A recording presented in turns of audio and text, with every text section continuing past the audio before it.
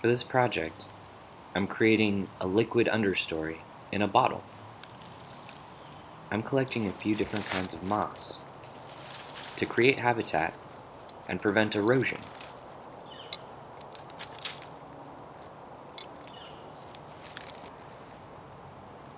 I'm using things with spores. This includes ferns, which develop fuzzy brown circles on the underside of the blades when they're ready. Now I'm pouring warm water over the plants and agitating the mixture. Paying special attention to the hydrophobic pockets of spores and physically breaking them apart.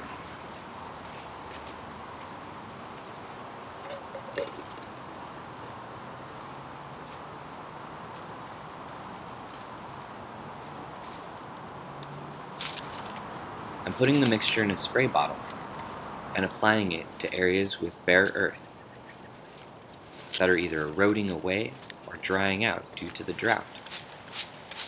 And since the moss is growing on this tire, I decided to try an experiment to see if rubber can be seeded as well.